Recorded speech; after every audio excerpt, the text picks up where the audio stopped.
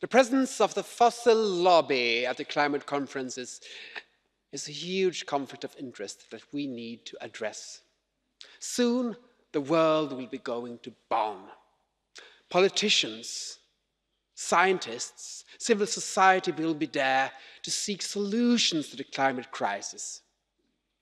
But the dirty coal and oil lobby will also be there, and they have an economic interest in trying to delay, water down, and prevent those solutions. We need strong rules on conflicts of interests. If we are going to be able to limit emissions so that we can stay below 1.5 degrees, we have no time to waste. This is about our children's future.